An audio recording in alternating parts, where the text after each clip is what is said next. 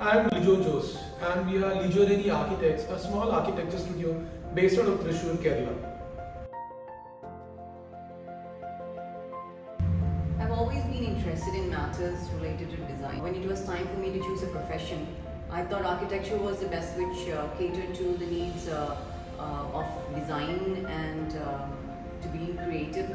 Uh, for me, right from the childhood days, I have been into art. I've been painting since the day I remember. But I did not want to learn uh, art as a course because I wanted that kind of freedom uh, in doing art, and uh, I remain uh, with the same even now. During the times when we were to pick a career or probably a path, uh, architecture naturally came into our thoughts because uh, I had another friend, and we have always had discussions about art, architecture, and so it naturally happened. As a matter of fact, we don't believe in having a design philosophy as such. But then, uh, having said that, I don't know if that itself is a design uh, philosophy. Uh, we believe in addressing the context, addressing the need of the art.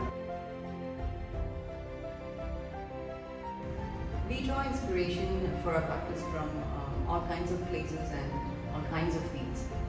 Uh, there are lots of fields related and very close to architecture like art, film, photography. And inspiration comes from all these works which are related. Uh, with the access to media now, uh, we have uh, um, we are constantly uh, updated as to what's happening across the world. Um, many many good works happening these days, not just from masters, from youngsters, and the visuals and the aesthetics and the creative thought that's put into all this work definitely does influence us conscious, consciously or otherwise.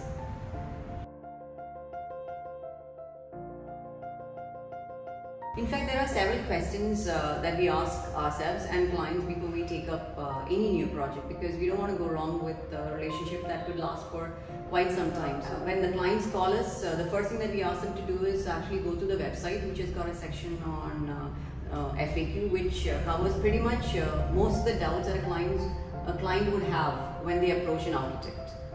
Then there are questions that we ask ourselves, which are important too. the first question we ask ourselves is, if we can contribute to this project uh, creatively. If we can't, we refrain from taking uh, that project.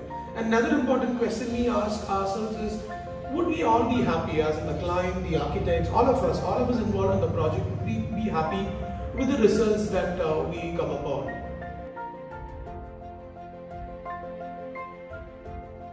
Uh, being in a creative field, there is no strict formula regarding what is a creative day or how, how a creative day can be. Uh, because sometimes you know you might laze around the entire day and by the end of the day in, in, a split second you get an idea and that day can be called a productive day. The others you might uh, have endless meetings uh, right from the beginning of the day till the uh, end of that working day. And you might not even have a, a single minute to kind of rest yourself. And that could also be called a productive day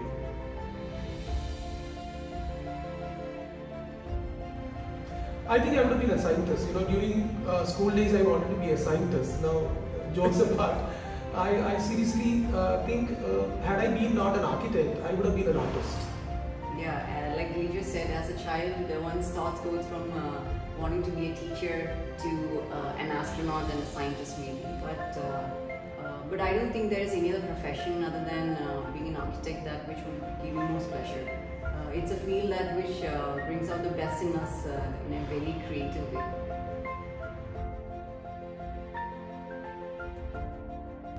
Uh, honestly thinking, we have never uh, thought of this question uh, ever until it uh, came up.